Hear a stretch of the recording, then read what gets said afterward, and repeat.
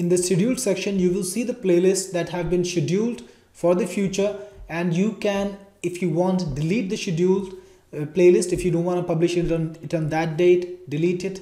Or if you want to reschedule it click on the reschedule button select a fresh date select the channel again and it will be rescheduled. So this is where you know where you can find the, the playlists that have been scheduled to be published in the future and you can modify anything you want. If you want you can also search a playlist by title. In case you've got a lot of lot of playlists here you can search by a title and filter out those playlists which have the words that you type here